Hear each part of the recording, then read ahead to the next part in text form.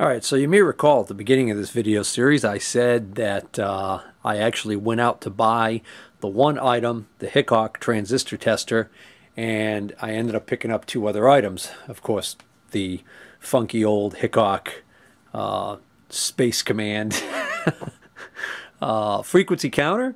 And what was the third item? well, it was this boat anchor Tektronix oscilloscope. When I first spotted this laying on the floor, uh, I got mildly excited in the hopes that it was a curve tracer for uh, analyzing transistors and other semiconductors. Unfortunately, it was just an oscilloscope. And I'll tell you, I had very little interest in this thing. This is a model 5440, so it's pretty early.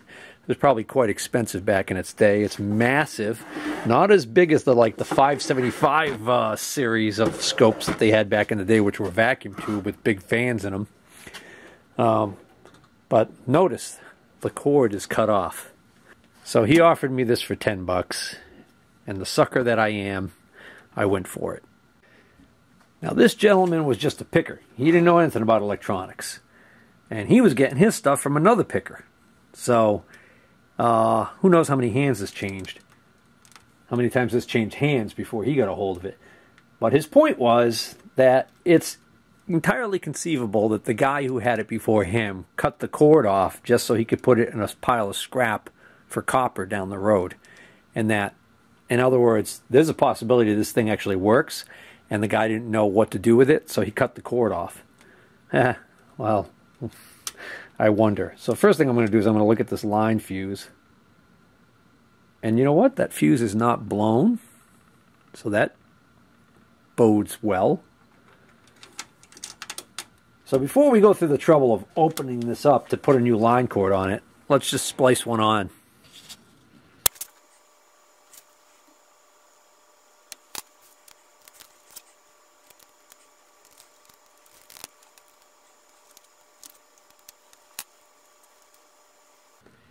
Interesting choice of color code here for these wires. This actually says instruction, oh, instrument set for VAC, and then this says 120. But you could actually pop this off and set it for 110, or 200, or 220, or 240, or 100. So, there must be a transformer with taps on it that you can change. Yeah, so here we go right here. It says caution to change line voltage, refer to manual. Primary tap set for 120 AC volts. So underneath this cover is probably access to the primary windings of the transformer and different taps you can set. M-I-C-K-E-Y. Yeah, I know. Hey, does anybody say that anymore? Mickey Mouse job? Anyways, I'm not really worried about it. I got the... Uh, fix-all for it right here. Just to be clear, I did use crimp connectors and I have no exposed conductors on either the line or the neutral. That last wire you saw there, the green one, that's just the ground. So at least I'm hooking it up so the chassis will be grounded. This is the uh, plug that I had hanging around here. So let me show you one other thing on the back of this before I flip it around and see if the smoke pixies will come out. Check this label out right here. Federal Signal Corps property number. So that looks to me like, I don't know, this might have been in government service. Really small print. It says notify accounting department if sold or moved. We get a nice wide shot in case smoke starts pouring out of the top. All right, where's the on button on this pig? Let's see. Lots of times it's disguised as a, oh, actually it's a pull. Whoop. All right, that doesn't seem right.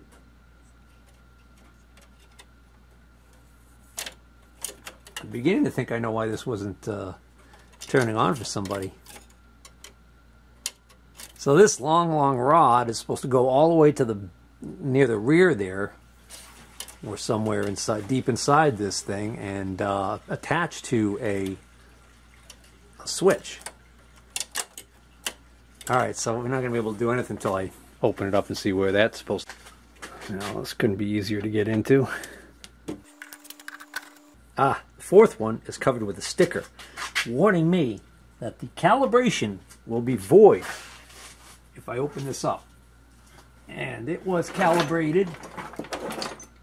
It looks like it might be 7 slash 75. Looks like it may have been calibrated back in 1975. So it might be due.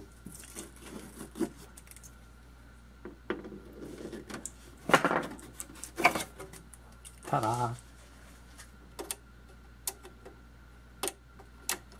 So the switch seems fine. Just the uh, plastic doohickey that is supposed to clip that onto the switch has appears to have broken. Alright, so it's just a plastic piece that's cracked right here. Um, but I think, well, I'm almost willing to bet that I could make this work with a plastic wire tie.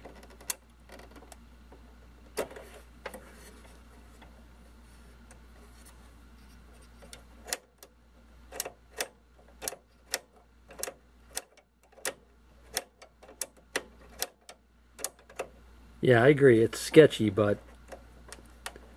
it'll get us through these uh, few tests to see whether or not this is a paperweight. Now, some of you guys are probably thinking, Steve, couldn't you have just reached down into here and pulled that knob to turn it on manually for the little bit of testing you want to do to see if this thing's any good? Well, yeah, I could have done that, except for one thing. You notice what's right near here? This cover says danger high voltage. And this big red wire right here is the high voltage anode lead going up to the CRT. So chances are the insulation on that should be pretty good, but I don't really feel like having my hand here when I turn this on in case this generates high voltage right away. And in case there's like, you know, something in the insulation there, like it's dried out and there's a crack in it somewhere I didn't see. But the electrons find it and chase me down ruthlessly. Okay. Switch is off. Plug in. Okay. Nothing happening yet. I'm not surprised. It looks like the way this is wired, the line cord power comes in, goes right through the line fuse, and then comes directly over to this switch and then out the switch. So this switch, basically, when this switch is off, there's virtually no power inside most of this thing. All right, here goes nothing.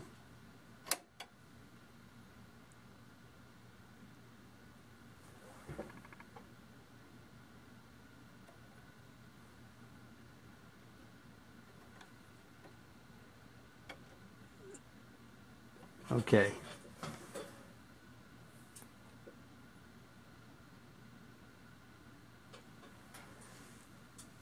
I hear absolutely nothing going on. And I see nothing going on. So appearances are that this thing is dead, dead, dead. Ah. You know, when I pulled this fuse out and took a quick look at it, it looked okay. But when you turn it around on this side, I see that little tiny wisp of gray that it signifies to me that there was some sort of an event. I bet you this fuse is open. Fuse is open. Wonder what size fuse this is. This is a one and a quarter amp slow blow fuse, and that is what the rear panel calls for, is a 1.25 amp slow blow. All right, I look through my slow blow fuses and I don't have a one and a quarter amp slow blow. I have a one amp slow blow and then I have the next size up is a two amp. If I put the one amp in and blows, it's not going to really tell me much. The rush of current when you first power this thing up might be enough to take out a one amp even if it's working normally. Two amp is significantly larger in amperage, so not the greatest idea, but my suspicion is that there's probably a short in the power supply, and I think it's going to blow this fuse rather quickly anyways. Um, I don't think it's going to sit there and cause this thing to cook and do more damage. which is what you would normally worry about in this kind of a situation. So, going to install a new fuse.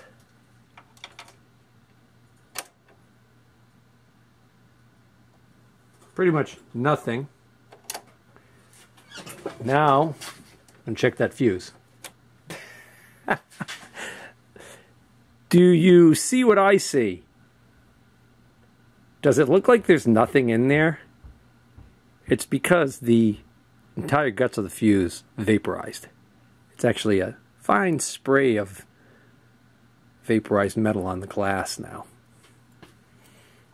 This is what we call a hard short or a dead short, which I like. Dead short, short's far more easy to diagnose than a uh, intermittent or a high resistance short. So, cool bean. Well, I took the easy to remove cover off of this side and doesn't give me that much more access. I'm trying to get to this board right here because I'm looking at these big filter capacitors and this board is screaming power supply. I mean to say, it is screaming to me that it is the power supply.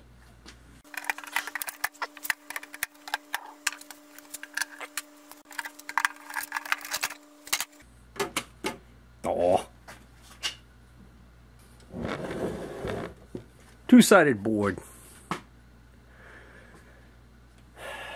Oh, stinkers. All right, let me show you what I'm doing here. Uh, I don't have a schematic for this thing. And uh, I could probably get one online, but again, I don't want to get too deep down this rabbit hole, although I usually end up doing that anyways. But I can do some really basic checks, and I can kind of figure out some of the stuff that's going on here without a schematic just by looking at this thing. First off, I know that this is a bridge rectifier. So this is four diodes in a bridge configuration inside one package. And here is another one. So I'm looking at two DC supplies minimum. Okay. And Usually on these packages, the two inner pins are where the AC input is. So if I check with my ohmmeter across that, I get low resistance, which is not surprising because I'm probably looking at the winding of the transformer. Then we could clearly see a plus right here and a minus right here. So this is where the DC out outputs from the bridge. Now, if they are looking for just a DC supply, oftentimes this will go to ground. The negative will go to ground and we'll just get a positive voltage out of this side. But lots of times they're using the bridge rectifier to generate both a plus and a minus supply. So that could be a possibility there. So I have no reason to believe that this isn't set up the same way. And so I look at this configuration and I see also that there are one, two, three, four, and there's one up underneath here. There are, I'm sorry, right here, five. There are five large filter capacitors, these big metal cans that are in this thing. All right. So what I noticed is if I just do some real rudimentary resistance checks, if I find a known ground, which in this case the chassis is a known ground, and I go to the outputs on these bridges and I look at the resistance measurements. Let me get my meter up here so you guys can see what I'm looking at. And I'm just looking okay I see that that's going up. Alright and it goes to infinity. So that's a, a cap that's probably charging that's probably just bad connection I just had there these are probably just the capacitors charging up nothing that interesting there on that one if I come over to this small bridge and I go to the positive side See how low that is? And how it tends to just sit there at like 53 ohms? If I come to the negative side, I see more of what I expect to see. And as a matter of fact, if I change the polarity on the meter, I could probably get the, cap, the cap to charge. Yeah, so you just see the cap charges and then it goes to infinity, which is what I would expect. So I'm seeing an unusually low resistance on this positive output of the bridge. You can see now it's like 17.2. Now, the resistance between, between the pins on the bridge, they're not so great. But it's not a dead short like I would expect. if the bridge was bad. So what I'm suspecting is I'm suspecting that we've got a filter capacitor that's gone bad here. So now I look at, well, how is this uh, circuit wired? I can see that the negative comes right out of the bridge and goes over on this trace and goes to this pin on this filter capacitor and this pin on the filter capacitor. They're tied together and then this pin is not. So, okay. So I'm looking at two sections inside one capacitor. This is common to the two sections. But look, it's also common to this. So that makes me think, because of the fact that this other capacitor over here on this side, which consequently on the other side of the board, uh, this pin I believe right here goes right to here. Or is it this one? Well, it doesn't really matter. The point is, if I look at this center pin on this cap to here, I get a normal reading. But when I go on this one, I get that super low reading. So it could be something even further down the line in the circuit that this whole side feeds that's shorted out. Or it could be the cap itself or it could even be the bridge, but I'm actually leaning towards the cap as being the most likely suspect because, well, capacitors are known for failure, especially big old electrolytics like that one. Well, that didn't want to come out without a fight. I really need to invest in a good solder sucker desoldering station. Uh, but, look at that. It's measuring uh, about 7.6 ohms and not increasing. So that is a shorted capacitor. Luckily, all that's in this whole can is one capacitor. It's a 5000 microfarad at 50 volt DC. Alright, so I don't have any 5000 microfarad 50 volt capacitors laying around. I just pulled this out of an old TV chassis. This is a 4700 microfarad 35 volt. So the 4700 being a little bit lower in microfarad, not so great, but that'll work. The bigger concern is that this is only 35 working volt and the one that I'm replacing is a 50. However, usually the caps are overrated. In other words, the actual voltage on the circuit here isn't going to be 50 full volts. It's going to be less. How much less, I don't know. Uh, I should be able to get by with running this just for a short period of time, just for testing purposes, to see whether or not this thing's got a chance of actually coming back to life. If it does, then I could invest in the proper size capacitor. It would still probably be a very small uh, capacitor like this compared, you know, to this big can from way back when this thing was made. All right, here's the new plan. We're gonna I got this up on a wooden box so that that subbed in cap can hang down below and uh, that way I can have this right side up in case it actually does work. I can read the controls more easily and not only that but if that capacitor decides to go uh, ballistic um, it'll just blow up underneath there. Um, I've seen capacitors like that turn into firecrackers. So uh, all right, I've got it plugged in. I've got a new fuse in there. Let's fire it off. Got a slight dim of the lights there when I first powered it on. Just a flicker. I've got a trace. No sweep though. Alright, before I burn a hole in the uh, in the CRT. Let me just see if we've got something not set correctly on the front here. Okay, let's try this again. So these are the two channel inputs right here. So these are responsible for the vertical deflection and setting that. Um, so this is the time base section right here. So this is what develops the horizontal frequency and I notice that right now it is selected over here left It says left, right, and then it says line and external. That must be the trigger. All right, here we go. Display mode.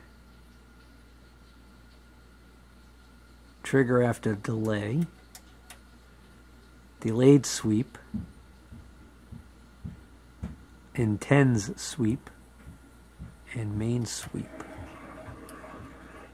And main sweep is what we want, maybe.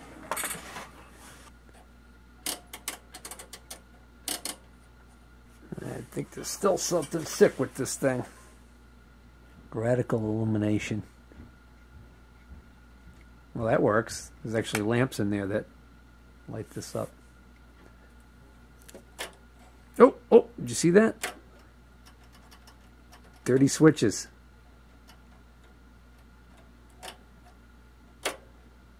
Okay, good. We can deal with that.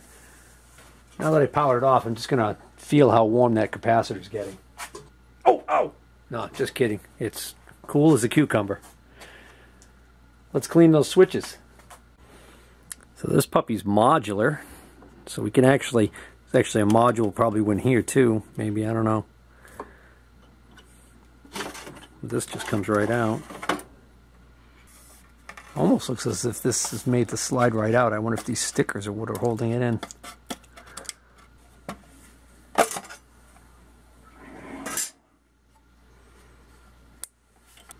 And of course the switches are buried in the middle. Maybe we can get to it from this side.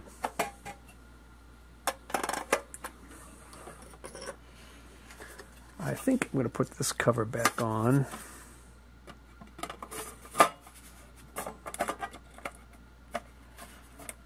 Just so I don't get them mixed up. Pop this one off. There we go. Uh, no, see, that's not... Well, I mean, I'll clean these while I'm in here, but those aren't the ones I'm trying to get at. I was trying to get to these middle ones here. Ah. I mean, I guess I could unscrew this board. Maybe. I see him in there. Now, this little tiny cable right here is going to be an issue. Maybe they make that wire just long enough for you to back this board. Ah, see, look what they did here. They got these ribbon cables. So this is going to open up like this. So this cable has to be disconnected. Could just unsolder it, I know, but I really didn't want to have to do that. So I wonder if I can actually get to these switches with a straw applicator on my uh, can of cleaner. Eh, that'll be flying blind. Damn it. Ha! I just happened to peek down in here between the boards, and um, you guys aren't going to be able to see it probably with the camera, maybe. But actually, the switches that I need to get to in particular are about right about here under this board, there's very long plastic rods like these here. There are even longer ones that go from this bank of switches right here all the way back here to the switches back there. So I can easily reach those with a um, hose applicator. And what's nice about the design of these switches is it looks like the backs of all of these switches is wide open so that uh, you can easily get the contact cleaner in there. All right, I clean these contacts right here too. These might even be gold.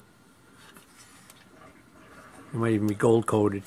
Um, it's funny, before when I pulled this out, I actually looked at this quick. I thought it was a contact. Uh, this is actually just a grounding, uh, like a spring-loaded copper leaf deal there to help ground this to the case. Uh, this is interesting too. This says in marker on the side of it, it says, uh, it's kind of hard to say, but I'm pretty sure it says General Signal Corps. So, uh, it could be General Signal Corporation, or it could be General Signal Corps. It could actually be a military reference. But probably it's General Signal Corporation. I think that's what that thing on the front said, right? Well, anyways, the, the thing on the back that warned about the, uh, that had the accountant warning on there.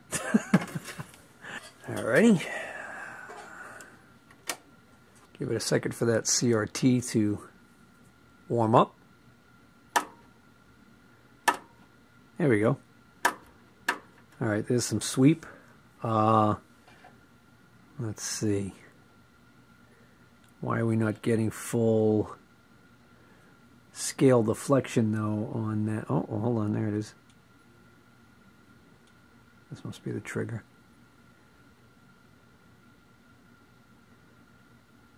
Oh, this horizontal position. Okay. And vertical position. Intensity is now working. Good. Uh, pretty sharp beam there.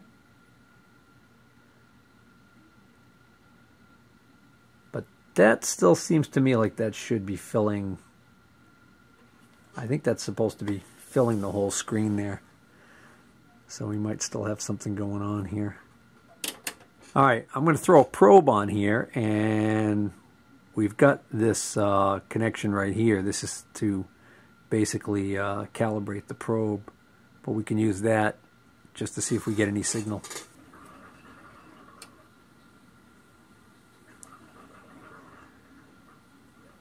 Oh, that's one ugly waveform. Well, guys, I've got my uh, my old Datapulse sweep generator hooked up to this thing, and look at that. Got a nice waveform there exactly what we would expect. And I also checked the second channel, and the second channel works. And uh, took a quick look online, and it turns out, yes, this is another bay that's available. And so if I were to get another one of these channel uh, modules in here, this could be a quad channel oscilloscope. The other thing that's kind of neat about this oscilloscope, which made it probably a pretty big deal back in its day, is there's a button here that uh, when you press it, it actually activates a little uh, cursor that you can. Let's see, I thought that was a button. Hold on. Well, maybe I have to have it in a different mode. But anyways, there was a little cursor. You could use this right here. You can adjust the position of that cursor. So if you wanted to make like a really precise measurement using these graticule lines here, which makes sense. So anyways, um, pretty cool old scope. I did discover there was a problem with my generator over here, but that's another story.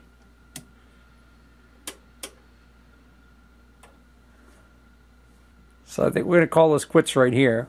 I think what I'm going to do is I'm I'm that that capacitor is still running perfectly fine. It's not even warm to the touch. So I think I'm going to uh, just fix up the wiring so that I can safely have that capacitor installed in there. And uh, I'll run it like that for now. I mean, all those electrolytic cans probably should be replaced, but I think, I don't know, I think I'm going to see whether or not there's any market for this thing. I might just sell this thing. I really don't need another scope.